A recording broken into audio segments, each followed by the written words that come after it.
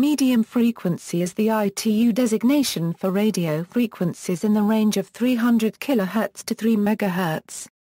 Part of this band is the medium wave AM broadcast band. The MF band is also known as the hectometer band or hectometer wave as the wavelengths range from 10 to 1 hectometer. Frequencies immediately below MF are denoted low frequency, while the first band of higher frequencies is known as high frequency.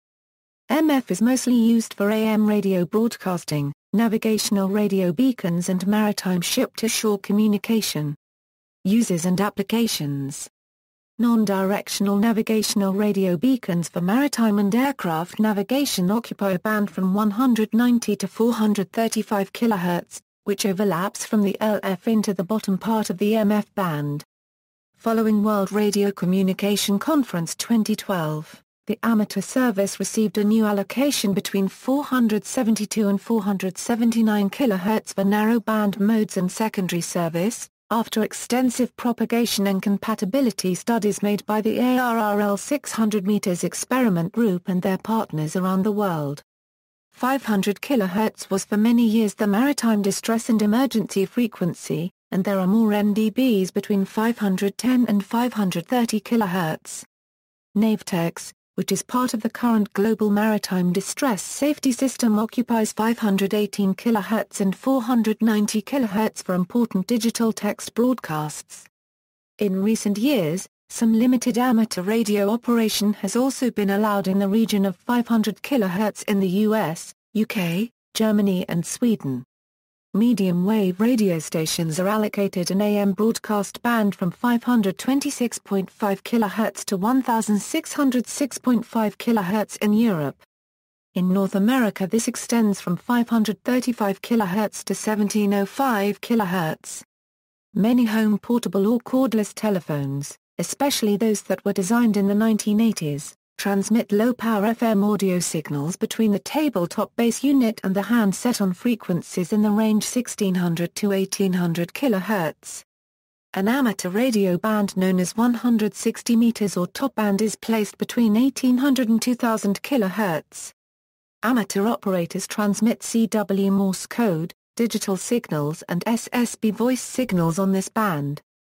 There are a number of Coast Guard and other ship-to-shore frequencies in use between 1600 and 2850 kHz.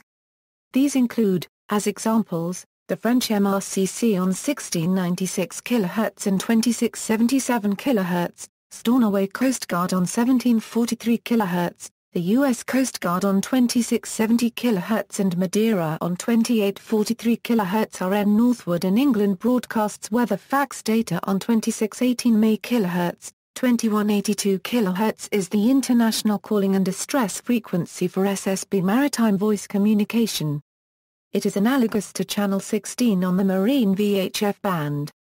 More broadcast stations are found in the 120-meter band from 2300 to 2495 kHz. These frequencies are mostly used in tropical areas. Although these are medium frequencies, 120 meters is generally treated as one of the short-wave bands. Lastly, there are aeronautical and other mobile SSB bands from 2850 kHz to 3500 kHz, crossing the boundary from the MF band into the HF radio band. Propagation Propagation at MF wavelengths is via ground waves and sky waves. Ground waves follow the curvature of the Earth. At MW wavelengths they can bend over hills, and cover a radius of several hundred miles from the transmitter, with longer distances over water and damp earth.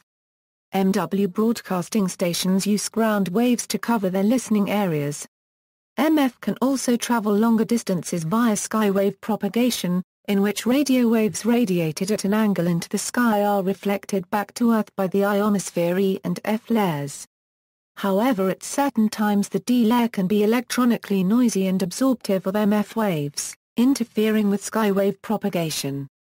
This happens when the ionosphere is heavily ionized, such as during the day, in summer and especially at times of high solar activity, late at night, especially in winter months and at times of low solar activity, the ionospheric D layer can virtually disappear.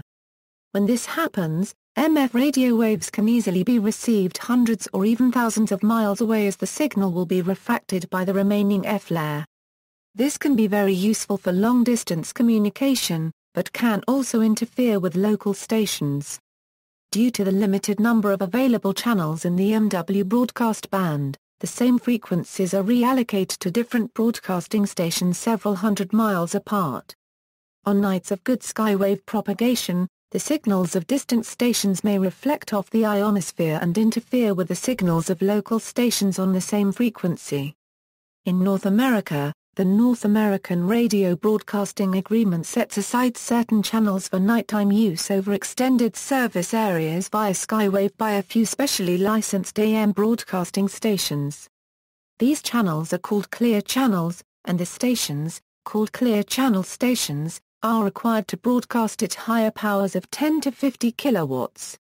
Antennas Transmitting antennas commonly used on this band include monopole mast radiators, top-loaded wire monopole antennas such as the inverted L and T antennas, and wire dipole antennas.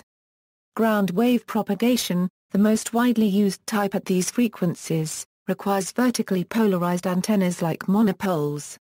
The most common transmitting antenna, the quarter wave monopole, is physically large at these frequencies requiring a tall radio mast. Usually the metal mast itself is used as the antenna, and is mounted on a large porcelain insulator to isolate it from the ground. This is called a mast radiator. The monopole antenna, particularly if electrically short requires a good, low-resistance earth-ground connection for efficiency since the ground resistance is in series with the antenna and consumes transmitter power. Commercial radio stations use a ground system consisting of many heavy copper cables, buried a few feet in the earth, radiating from the base of the antenna to a distance of about a quarter wavelength.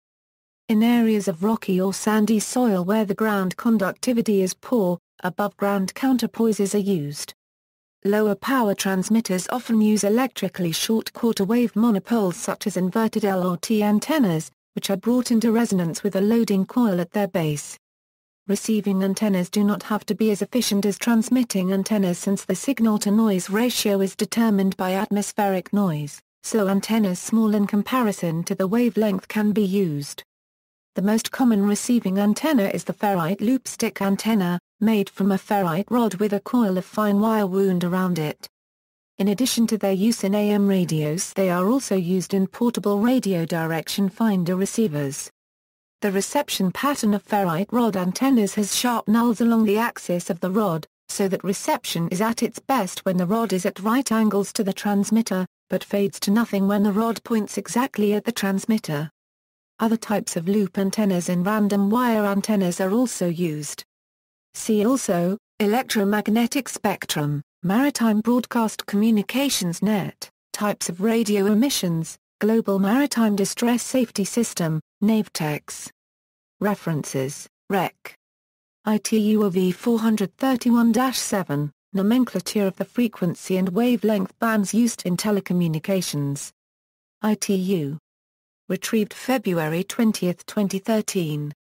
The 500 kc Amateur Radio Experimental Group, United Kingdom Frequency Allocation Table 2008. Ofcom. Pages 21. Retrieved January 26, 2010. U.S. Frequency Allocation Chart. National Telecommunications and Information Administration, U.S. Department of Commerce. October 2003. Retrieved August 11, 2009. How to listen to cordless telephone conversations, MFHFSSB frequencies, http www.hffA extra Northwood 95 txt, http www.ntia.gov PDF US Government Frequency Allocation Chart, Ground Wave MF and HF Propagation. Introduction to HF Propagation. IPS Radio and Space Services, Sydney, Australia. Retrieved September 27, 2010. Federal Standard 1037C. Further reading, Charles Allen Wright and Albert Frederick Puchstein, Telephone Communication, with particular application to medium-frequency alternating currents and electromotive forces. New York, etc. McGraw-Hill Book Company, Incorporated, 1st ed., 1925. LCCN 25008275. External links, Tomislav Stimac, Definition of Frequency Bands. IK1QFK homepage